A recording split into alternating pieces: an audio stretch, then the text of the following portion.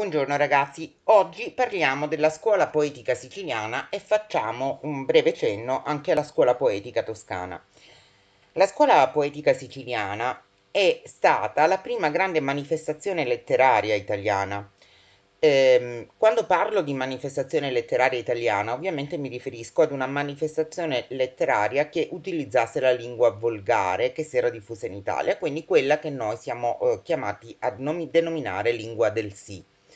Rispetto alle eh, produzioni letterarie con funzione artistica eh, in lingua doc, o in lingua Doyle, quindi in lingua doc mi riferisco nel dettaglio alla poesia trobadorica, ovvero alla cosiddetta lirica cortese, e in lingua Doyle mi riferisco principalmente alle chanson de jazz, la lirica italiana è arrivata con un pochino di ritardo ed è rimasta per lunghissimo tempo proprio ancorata all'ombra di quella che è stata la produzione francese e alla produzione provenzale, dalla quale peraltro ha ereditato proprio i temi, i temi principali e le forme poetiche. Per comprendere però eh, quanto importante sia stato ehm, il modello occitanico, Basti pensare che in Italia ci sono stati proprio casi di veri e propri trovatori, uno dei quali, uno dei più famosi, è stato quel sordello da Goito di cui abbiamo parlato a proposito dell'introduzione alla Divina Commedia. Sordello d'Agoito è stato infatti celebrato da Dante dal sesto all'ottavo canto del Purgatorio e a, proprio a, Sordello d'Agoito Dante ha affidato l'incarico di eh, pronunciare quell'invettiva all'Italia che costituisce un tratto importantissimo nella struttura della Divina Commedia. Sordello d'Agoito aveva vissuto per un lungo periodo della propria vita nella Provenza, ovvero nella Francia meridionale, assorbendo la tradizione poetica trobadorica. Quindi quando poi rientrò in Italia continuò, mantenne eh, quelli che eh, furono le, mh, mm, i grandi apprendimenti che aveva fatto in Provenza e cominciò a scrivere diversi sirventesi ovvero diversi componimenti poetici che erano caratterizzati da eh, un vigoroso accento politico e civile. Proprio per questo motivo Dante lo ha scelto come ehm, espressione e come eh, promotore di quell'invettiva all'Italia che avrebbe eh, caratterizzato eh, il sesto canto del Purgatorio. Qua per parlare della scuola poetica siciliana in primo luogo cercheremo di contestualizzarla all'interno eh, di quella che è stata l'esperienza poetica lirica italiana del 1200 poi la inquadreremo secondo quelle che sono le sue coordinate essenziali, le coordinate spaziali, quindi il luogo in cui si è eh, sviluppata, le coordinate eh, temporali, quindi il periodo che è stato interessato da questa produzione e in base a quelle che furono le sue caratteristiche essenziali. Ci soffermeremo poi in particolare a parlare della corte di Federico II e eh, per poi diffonderci pienamente sul tema dell'amor cortese, che è il primo e più importante argomento che affrontarono gli esponenti della scuola poetica siciliana. Particolare attenzione sarà destinata alla struttura metriche e alle strutture linguistiche e retoriche utilizzate dagli esponenti della scuola poetica siciliana e infine eh, faremo eh, un piccolo accenno ai rapporti che la scuola poetica siciliana ha intrattenuto con il proprio modello, ovvero con il modello trobadorico. E non potrà mancare un riferimento alla scuola poetica toscana che però eh, sarà piuttosto ridotto e, ehm, e, e che eh, sarà veramente sommario e per quanto mi riguarda è sufficiente che sappiate quello che verrà detto in questa video lezione sul tema della scuola poetica toscana. Cominciamo a parlare quindi della poesia lirica in Italia nel 1200. Allora, nella prima metà del XIII secolo cominciano a svilupparsi, in, ovvero del 1200, cominciano a svilupparsi in Italia esperienze letterarie che a differenza della poesia religiosa di San Francesco d'Assisi oppure di Jacopone da Todi, avevano dei caratteri molto particolari, ovvero avevano dei fini di arte ave- erano delle esperienze poetiche che aveva un esclus- avevano un esclusivo fine d'arte. Quali erano questi eh, caratteri che definivano il fine d'arte? In primo luogo la ricerca di un livello espressivo alto, la eh, raffinata elaborazione formale e in terzo luogo il fatto che si rivolgessero ad elite colte, ristrette ed esclusive. Quindi ci troviamo di fronte ad esperienze poetiche rivolte ad un pubblico colto, ad un pubblico ristretto facente parte di un eh, gruppo esclusivo che ehm, hanno delle finalità artistiche che si manifestano in una ricerca formale ed espressiva alta.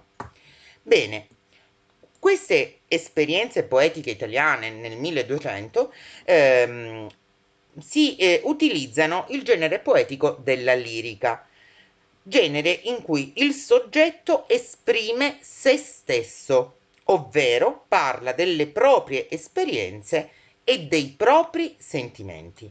Non si deve però immaginare che questa espressione del sé fosse un'espressione spontanea, una spontanea espressione del proprio sentimento. Essa era infatti sempre filtrata attraverso precise convenzioni letterarie, convenzioni letterarie che derivavano dal modello di riferimento. Qual era il modello di riferimento della poesia lirica in Italia nel 1200?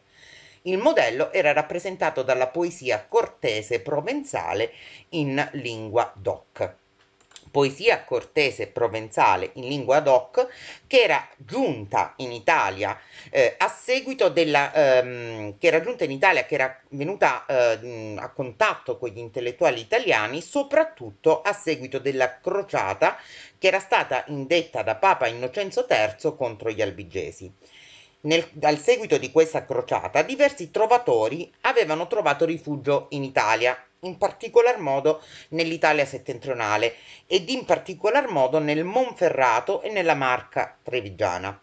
In queste aree fiorirono le prime imitazioni della poesia trobatorica, di cui eh, vengono ripresi non solo i temi, anche la lingua. In altri termini, in queste aree, nel Mar- mm, come abbiamo detto nel Monferrato, nella Marca Trevigiana, eh, di fatto eh, com- cominciarono a svilupparsi delle produzioni poetiche che utilizzavano la lingua doc, quindi che non utilizzavano i volgari locali. E questa cosa si può spiegare molto bene. Come mai, cioè, in Italia non si utilizzassero i, lo- i volgari locali? perché la frammentazione politica dell'Italia settentrionale aveva di fatto impedito che un volgare prevalesse sugli altri, ovvero che acquistasse prestigio letterario. Se questa cosa si è verificata in Italia settentrionale, dove l'imitazione del modello trobadorico, cortese, provenzale ha condotto ad utilizzare la lingua doc, Diversa è stata invece la situazione dell'Italia meridionale e nella fattispecie della corte di Federico II di Svevia, dove si sviluppa un'esperienza del tutto autonoma. E infatti nella corte di Federico II di Svevia, nel periodo compreso tra il 1230 ed il 1250, si sviluppa un'esperienza poetica nuova e autonoma, quella della scuola poetica siciliana. Il luogo di sviluppo è la corte appunto di Federico II in Sicilia. Questa eh, esperienza poetica è, è in realtà eh, molto molto importante e eh, molto importante perché rappresenta proprio eh, la prima poesia d'arte in volgare italiano. I testi ci sono pervenuti nelle trascrizioni che ne hanno fatto i copisti toscani e per questo motivo i tratti linguistici di questa scuola poetica siciliana a tutt'oggi non sono pienamente ricostruibili, in quanto i copisti toscani nel riscrivere i testi dei siciliani hanno teso in qualche modo a toscanizzare la lingua con il risultato che quello che ci hanno proposto, quello che ci è pervenuto, è un vero e proprio ibrido linguistico, in cui alcuni tratti sono marcatamente siciliani e altri tratti sono marcatamente toscani. Questo fatto ha eh, reso molto difficile ricostruire la lingua siciliana. Noi abbiamo solo un testo che eh, è pervenuto direttamente in lingua siciliana, Per mio cuore alligrari di Stefano Protonotaro. Per il resto, tutto il resto ci è pervenuto attraverso la mediazione dei copisti toscani. Chi furono i massimi esponenti della scuola poetica siciliana? Tanto per cominciare Jacopo D'Alentini.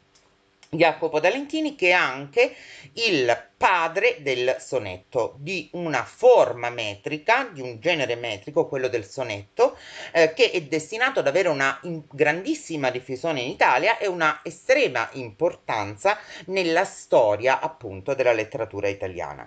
Ricordiamo inoltre Pier delle Vigne, è importante che lo ricordiate Pier delle Vigne perché lo incontreremo tra breve all'inferno. Stefano Protonotaro e quello la cui opera Per mio cuore Alligrari è l'unica che ci è pervenuta in lingua schiettamente siciliana, quindi cercate di ricordare anche questo nome. E ricordiamo infine Guido delle Colonne. I massimi esponenti dunque della scuola poetica siciliana furono Jacopo D'Alentini, il padre del sonetto, Pier delle Vigne, Stefano Protonotaro e Guido delle Colonne, ma sappiamo per certo che anche lo stesso Federico II di Svevia eh, amava eh, dilettarsi in produzioni poetiche, benché la sua opera più importante sia stato un trattato sull'arte della caccia, sull'arte venatoria. Adesso parliamo appunto di questa corte particolare di Federico II di, Svevio, di Sveva, in cui ebbe modo di svilupparsi la scuola poetica siciliana. Questa corte eh, di eh, Federico II di Svevia è, una, è stata diciamo da un, mh, mm, qualcosa di innovativo all'interno della storia appunto italiana. Intanto sappiamo, scusate, che Federico II di Svevia era il figlio dell'imperatore eh, tedesco Enrico VI e di Costanza d'Altavilla. Dal padre aveva ereditato il titolo imperiale, dalla madre aveva ereditato la corona di Sicilia. Ehm, divenne imperatore nel 1220 e nel momento in cui divenne imperatore fissò, si può dire, la propria residenza eh, prevalentemente eh, nell'area eh, della Sicilia. Andando ad organizzare una corte che viene definita corte itinerante perché in realtà si muoveva spesso tra i propri eh, possedimenti non individuando in una città specifica la propria sede eh, e questi suoi continui movimenti tra i vari possedimenti avevano una funzione di controllo sui territori ma ehm, pur muovendosi continuamente tra i vari possedimenti risiedeva principalmente in Sicilia. Questa corte itinerante assunse il nome di Magna Curia, che è nata proprio come espressione di una nuova organizzazione politica che era fortemente accentratrice, che accentrava il potere, cioè nella figura della, dell'imperatore di Federico II di Svevia. Questa, la predilezione per la Sicilia che eh, manifestò eh, Federico II di Svevia fece sì che la Sicilia divenisse centro non solo politico ma anche culturale di rinnovamento dell'Italia ma Federico II decise di risiedere in Sicilia per riuscire ad avere un maggiore controllo sui comuni italiani, perché tra le sue ambizioni c'era anche quella di riuscire a riunirli tutti sotto l'egida di un solo potere, cioè del potere imperiale. Um, Federico II concepiva il potere imperiale in modo molto moderno, ovvero come un potere accentrato ed unitario. Si propose a questo scopo eh, di ehm, favorire la supremazia ghibellina in Italia e a tal fine cercò di contrapporsi alla Chiesa non solo da un punto di vista politico, ma anche da un punto di vista culturale, incoraggiando all'interno della propria cerchia, quindi all'interno della Magna Curia, nella propria corte, gli studi di natura laica e ad indirizzo scientifico. Eh, questa politica eh, culturale di cui si fece promotore appunto Federico II di Svevia si sviluppò anche eh, nella promozione e nell'impulso che diede allo studio del latino che venne concepito appunto come lingua veicolare ovvero come lingua destinata agli scambi internazionali e alle attività delle cancellerie. Inoltre promosse la nascita di diversi istituti e di diverse istituzioni culturali. Per esempio, promosse la nascita della scuola di Capua, promosse la nascita dell'Università di Napoli, ma anche la nascita della scuola di medicina di Salerno e fece sì che Messina e Palermo diventassero dei centri culturali di primo piano in cui si sviluppavano le attività di tipo letterario. La sua eh, attenzione per il latino è un'attenzione che però si affianca anche all'attenzione per lo sviluppo, il potenziamento delle lingue volgari. Infatti la politica culturale di Federico II era una politica culturale che mirava ad una fusione culturale. Lo stesso Federico II era figlio di un tedesco, Enrico VI, e di una normanna, Costanza di Altavilla, e in quanto tale era naturalmente bilingue, parlava naturalmente due lingue. Parlava inoltre il latino e una volta giunto nella corte siciliana in funzione di imperatore, imparò anche il greco, l'arabo e il volgare siciliano. E, ehm, circondandosi tra l'altro da esponenti di tutte le culture che nel corso del tempo avevano interessato l'isola. Il greco fu mantenuto, il greco nella sua forma bizantina, fu mantenuto per esempio come lingua della liturgia religiosa. L'arabo divenne invece la lingua della scienza e della filosofia. Fu in questo periodo che, eh, per esempio, ehm, l'astronomo scozzese Michele Scoto scrisse le proprie opere e fu sempre in questo periodo che Leonardo Fibonacci eh, ebbe il merito di introdurre le cifre arabe per i numeri che andarono a sostituire le cifre latine. La componente culturale latina, come abbiamo detto, si mantenne come lingua veicolare degli scambi internazionali e eh, della, eh, delle attività di cancelleria. Ma, oltre a queste componenti culturali, fu sua intenzione anche quella di introdurre eh, la, eh, li, le lingue, diciamo, letterarie della eh, poesia trobadorica e, di, e dei Minzeng.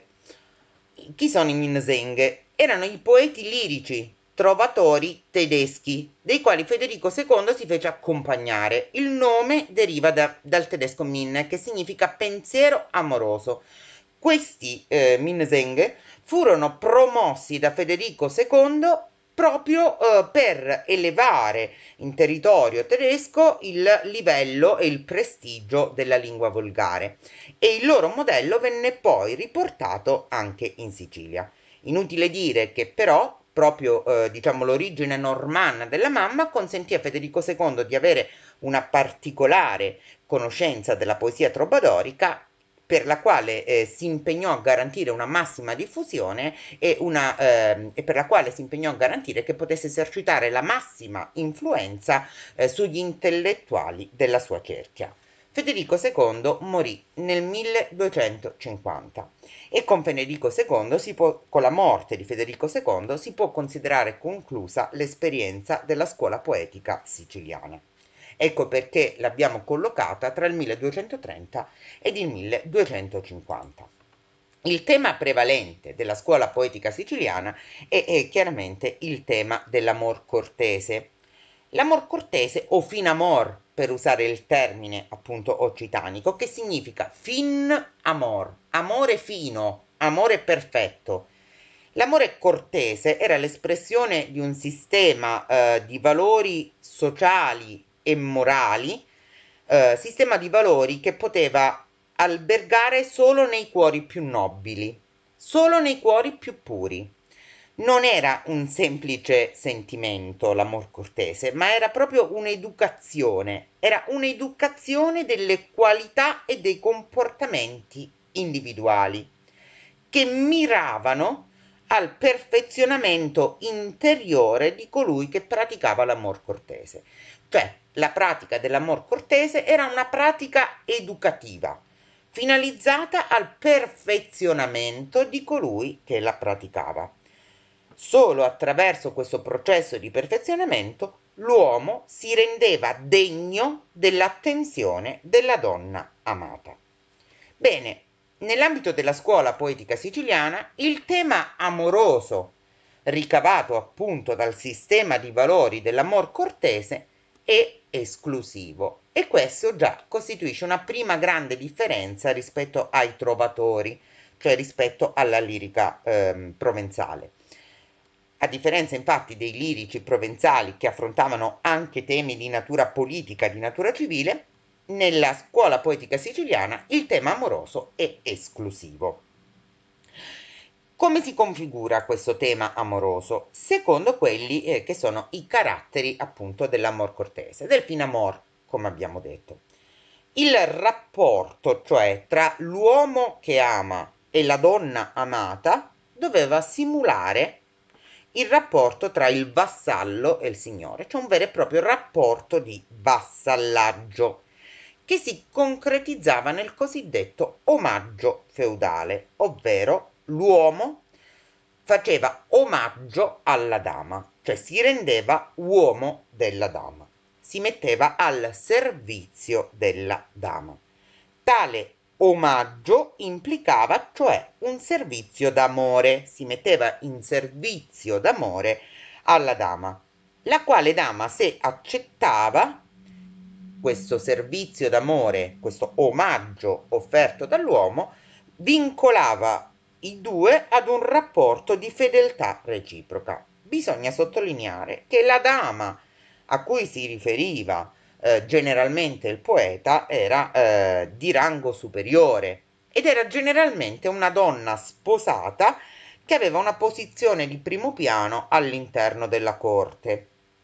Ecco che Pertanto il tema della lode della donna diventa un tema dominante.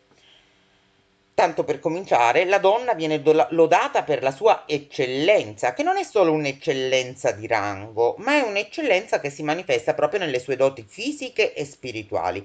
E per esprimere questa eccellenza che pone la donna al di sopra di tutte le altre, la donna amata al di sopra di tutte le altre, lei viene paragonata a, agli astri, cioè alle stelle, viene paragonata alle pietre preziose, viene paragonata ai fiori, tutta una serie, cioè di immagini, un gioco di immagini che rimandano ad una natura luminosa, profumata e preziosa, al di sopra di tutte le altre. Ovviamente il vincolo di fedeltà, il codice di com- comportava l'assunzione di un codice di comportamento. In questo codice di comportamento le qualità che dovevano dominare erano quelle dell'obbedienza, della misura allo, della misura intesa come ragionevolezza e della eh, generosità. Chiaramente il um, il poeta che si eh, proponeva in questo servizio d'amore alla dama sperava in una ricompensa, ma in una ricompensa per il servizio d'amore prestato, ma era anche in grado di rassegnarsi qualora la dama non avesse accettato il suo omaggio.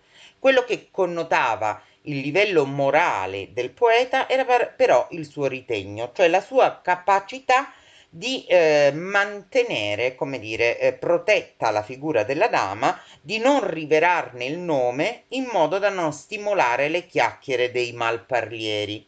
Spesso infatti il nome della dama veniva in qualche modo eh, occultato e simulato dietro una parola che diventava segnal, ovvero che diventava simbolo di riferimento della dama in questione un tema molto importante nella eh, lirica provenzale, nella lirica comunque dell'amor cortese, è il tema del dolore eh, per la lontananza.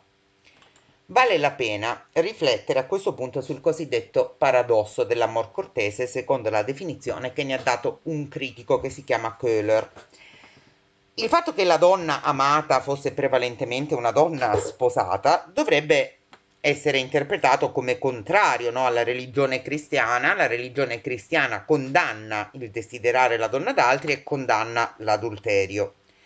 Però eh, questa eh, forma, come dire, di infedeltà coniugale, o che, di infedeltà coniugale teorica, teorizzata e allo stesso tempo di adulterio, in realtà deve essere inquadrata nell'epoca e nella società in cui eh, si applicava. La società medievale era una società chiusa e il matrimonio non avveniva mai come unione di due individui che si fossero liberamente scelti. Il matrimonio era spesso esito di accordi, non di una libera, un, di una libera scelta tra due individui. E questo già di per sé escludeva che alla base del matrimonio ci potesse essere amore. Il vero amore, infatti, era eh, secondo diciamo eh, quello che era il punto di vista dell'epoca era possibile solo al di fuori del matrimonio perché solo al di fuori del matrimonio quindi al di fuori di questi accordi utilitaristici l'amore era liberato svincolato da ogni obbligo e da ogni fine utilitaristico quanto più l'amata, inoltre, era irraggiungibile proprio perché donna sposata, tanto maggiore era lo sforzo di perfezionamento che doveva fare l'amato per rendersi degno di lei. In altri termini, il paradosso dell'amor cortese risiede proprio in questo, nel fatto che il vero amore rimane tale solo se non vuole essere soddisfatto, se non ambisce ad essere soddisfatto. Se cioè tale amore si fosse concretizzato in un'effettiva unione carnale tra l'uomo che ama e la donna amata, immediatamente sarebbe venuto meno il principio del perfezionamento, perché si sarebbe annullata quell'elevazione, quella tensione a migliorare se stessi per rendersi degni della donna amata e, ehm, e quindi il senso profondo dell'amor cortese sarebbe venuto automaticamente eh, meno. Ora, eh, come stavamo dicendo, eh, rispetto però a questo sistema, diciamo, che è caratteristico della, uh, della società mh, occitanica, i rapporti di potere nella corte di Federico II non erano più affini ai rapporti di potere propri del vassallaggio.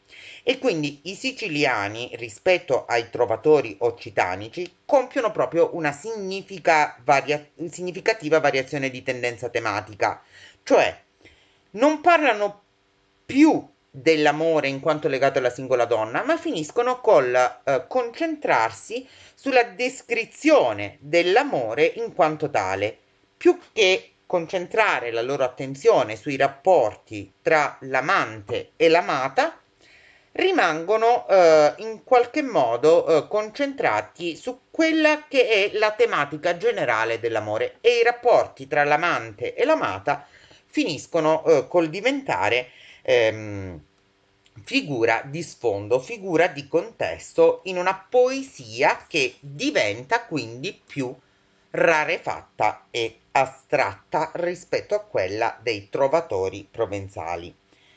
La figura della donna qui infatti è meno delineata, è meno precisa, perché la donna è solo uno stimolo, è in qualche modo un'occasione per fare poesia, mentre risultano molto più particolareggiati e molto più precisi eh, la, molto più particolareggiata e precisa la descrizione degli effetti dell'amore la riflessione sugli effetti dell'amore sull'uomo. Quali sono le conseguenze di questo cambiamento di atteggiamento? In primo luogo, il fatto che la poesia siciliana sviluppa un carattere che sarebbe stato significativo in tutta la storia della letteratura italiana, ovvero eh, l'attenzione per la dimensione introspettiva e psicologica del poeta e in secondo luogo il fatto che l'esperienza d'amore diventa principalmente un'esperienza di tipo intellettuale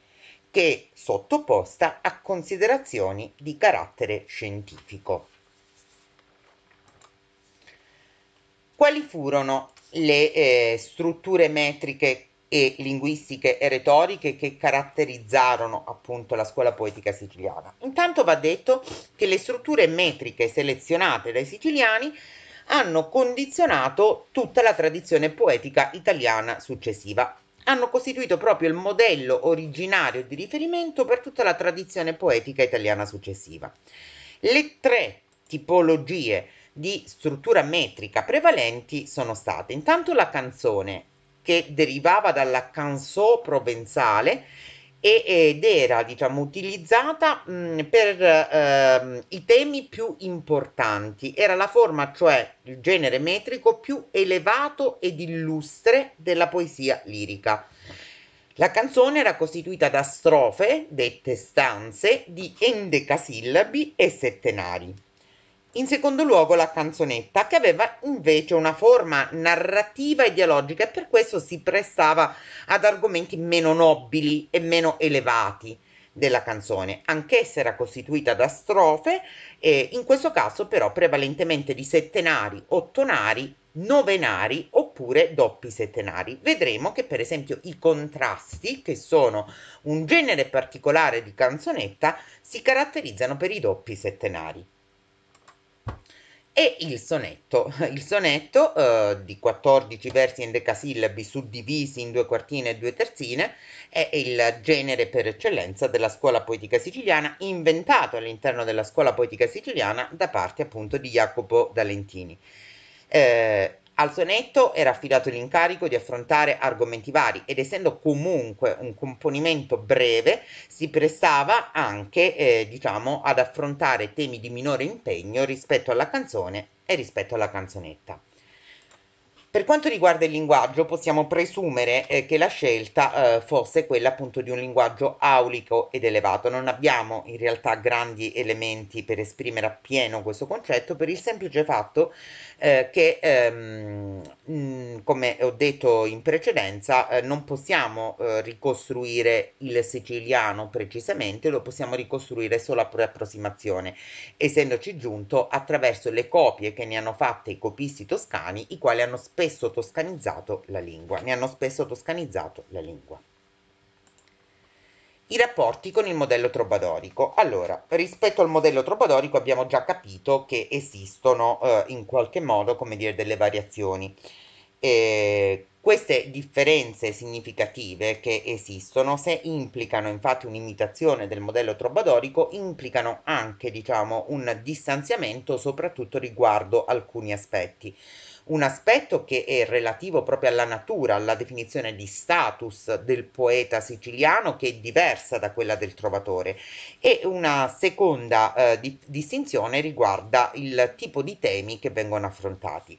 Parliamo, tanto per cominciare, della differenza di status sociale. I poeti siciliani non sono i provenzali, non sono i trovatori provinciali. I trovatori provenzali erano per lo più figli cadetti oppure esponenti della piccola nobiltà o ancora potevano essere giullari di corte. Loro, eh, il loro impegno poetico era spesso finalizzato a dimostrare che essi erano portatori di una nobiltà che non derivava dal sangue, ma che derivava dalla, ehm, dall'aver, eh, che era una nobiltà insomma interiore, non una nobiltà di sangue, ma una nobiltà spirituale, esito di un lungo processo di perfezionamento attraverso la pratica e l'esercizio dell'amor cortese. I poeti siciliani invece sono per lo più dei borghesi, quindi non hanno proprio ambizioni di nobiltà. Borghesi che esercitano funzioni amministrative e burocratiche nella corte. Jacopo D'Alentini era un notaio, Pier delle Vigne era un cancelliere, Stefano Protonotaro, come dice il suo stesso nome, era un protonotaro e Guido delle Colonne era un giudice. Per loro la poesia era solo un diletto, non aveva altra natura, quindi non aveva lo scopo di collocarli all'interno della società in una posizione particolare. La loro posizione era garantita dal ruolo che svolgevano all'interno della corte. La poesia aveva solo una funzione di diletto, di divertissement raffinato. In secondo luogo, eh, quello che evidenzia, manifesta insomma la differenza fondamentale tra la poesia trobadorica e il modello siciliano e la scuola poetica siciliana è l'assenza del tema politico, che si può spiegare facilmente, eh, perché il, si spiega proprio col fatto che il regno delle due Sicilie rispetto alle corti, per esempio dell'Italia settentrionale, e anche rispetto ai rapporti di vassallaggio che caratterizzavano la civiltà cortese dei trovatori, eh, era, ehm, era, um, era molto diverso. In Sicilia c'era un forte potere monarchico che era assoluto e accentratore e la vita politica di fatto si esauriva nel volere del re. Non c'era un clima di libertà e di scontro politico vivace non c'erano neanche quei dissidi politici e quella dialettica che opponeva Guelfi e Ghibellini, per esempio, nell'Italia settentrionale. In altri termini, mancavano contrasti e dinamiche che eh, potessero favorire la nascita di una poesia di tipo civile e di tipo politico. La poesia quindi era interpretata come evasione dalla realtà, come raffinato gioco intellettuale che era circoscritto ai membri di un'elite che costituivano contemporaneamente i produttori del testo poetico perché erano i poeti e anche colui i destinatari. In altri termini tutto si esauriva all'interno di un cerchio chiuso, di un circolo chiuso e all'interno di questo circolo chiuso anche l'amore era interpretato come un gioco raffinato ed aristocratico che aveva una sua espressione, una sua manifestazione nella poesia. Ecco spiegata anche la progressiva rarefazione della figura della donna che eh, ha fatto sì che si inaugurasse con la scuola poetica siciliana in Italia quella che è stata definita dai critici come poetica dell'assenza. I, eh, a partire dalla scuola poetica siciliana, l'Italia, la lirica italiana, canta donne che sono sostanzialmente irreali. Questa eh, irrealtà, questa evanescenza, questa astrattezza della donna mh, mm, protrarrà nella lirica italiana fino a Petrarca, Solo Petrarca riuscirà a superare questa dimensione di rarefazione della donna, dotando Laura, la donna cantata da Petrarca, di una vera e propria corporeità fisica e di una sua eh, individualità personale. Abbiamo già detto no, che eh, la, um, una diciamo, delle conseguenze della scuola, della diffusione della scuola poetica siciliana è stata poi la diffusione del modello della scuola poetica siciliana anche al di fuori della Sicilia ed in particolar modo in Toscana. Il modello della eh, scuola siciliana ha trovato infatti larga diffusione in Toscana, dove i copisti toscani hanno trascritto i testi dei siciliani toscanizzandoli, ovvero rimaneggiandoli linguisticamente e quindi con questo averli rimaneggiati linguisticamente impedendoci di ricostruire, se non per approssimazione, la lingua siciliana originaria. Però dobbiamo anche riconoscere che questa eh, opera di ricopiatura che hanno fatto i copisti toscani ci ha permesso anche di salvare questi testi, li hanno salvati perché eh, i testi originari sono andati distrutti a seguito della caduta della dinastia di Svevia nel 1266 dopo la battaglia di Benevento in cui ha perso la vita il figlio di Federico II di Svevia, ovvero Manfredi. Qual è la novità dei toscani, della scuola poetica toscana. Intanto che al tema amoroso aggiungono finalmente il tema politico e civile e questa cosa si spiega facilmente se considerate che i comuni della Toscana sono stati caratterizzati proprio dai conflitti e dalle lotte tra città, all'interno della città da eh, lotte tra classi sociali oppure tra fazioni politiche. In questo modo il poeta non è più un burocrate al servizio della corte, cosa che accadeva invece nella scuola poetica siciliana, ma è un vero e proprio cittadino che vive intensamente la vita politica della propria città, riversandone poi le passioni nella propria produzione poetica. Chi furono i massimi esponenti della scuola poetica toscana? Tanto per cominciare Guittone d'Arezzo. Guittone d'Arezzo che ha scritto una canzone, una bellissima canzone, ai Lasso, ore stagion di doler tanto, canzone scritta dopo la battaglia di Montaperti, eh, battaglia di Montaperti del 1260, con la quale ehm, di fatto, diciamo, eh, Guittone d'Arezzo compiange la sconfitta della parte guelfa di Firenze e eh, lamenta eh, la perduta grandezza della città di Firenze.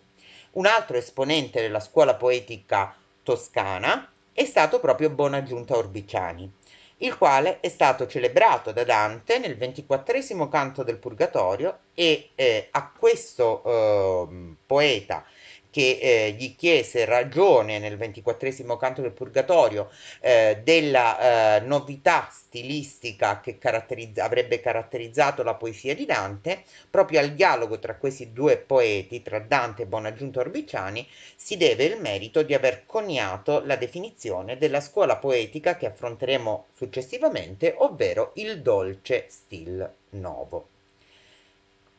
Bene, Spero che la lezione vi sia risultata chiara, spero eh, che ehm, non ci siano problemi di comprensione. Vi ringrazio per l'attenzione che mi avete destinato, vi chiedo gentilmente se avete difficoltà di qualunque tipo, dubbi, perplessità o semplicemente se volete approfondire qualche aspetto, eh, di comunicarmelo con i, secondo i mezzi eh, a vostra disposizione e eh, vi auguro una buona giornata e ci rivediamo a presto con la mm, video lezione sul dolce stil novo. Arrivederci ragazzi.